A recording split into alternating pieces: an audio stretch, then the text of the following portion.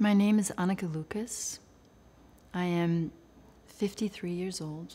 The healing process takes one inside, and the emotional maturity that I have today is due to that particular process that takes a person to that most vulnerable self. And then, with love and compassion of perhaps a witness or the safe adult person that we are ourselves, we can take those parts of ourselves that were frozen in time by the abuse, the emotional growth stunted by the abuse, and loosen that and break through the shame and give that young child that we once were the nurturing and the love that it always deserved.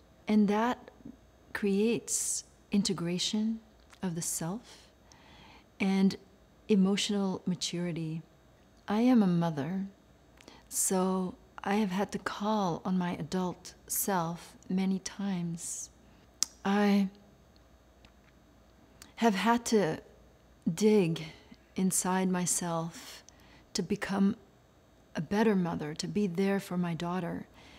And in my case, it required going really deep into the pain because I knew that I wasn't going to be able to be there for her sufficiently unless I was really able to get that healing.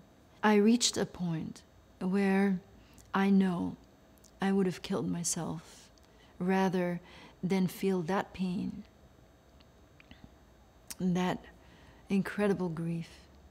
But because I'm a mother, I had to stick it out.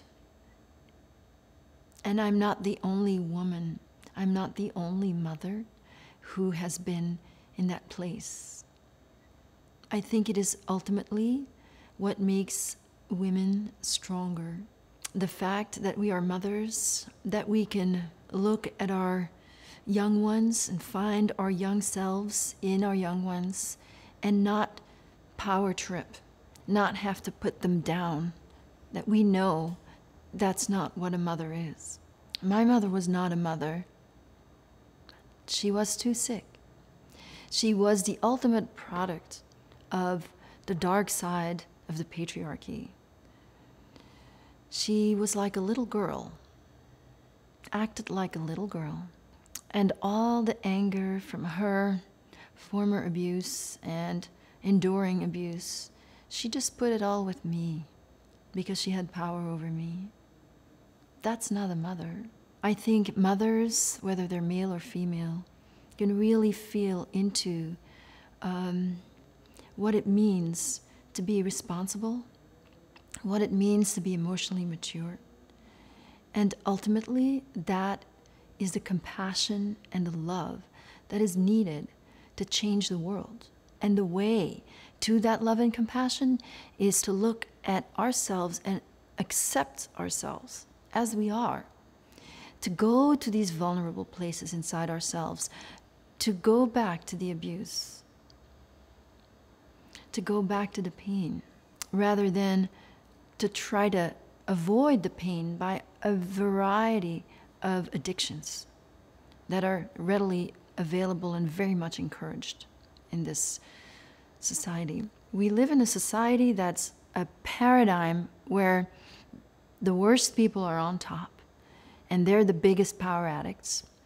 And as we go down the ladder, everyone is somehow caught in that paradigm.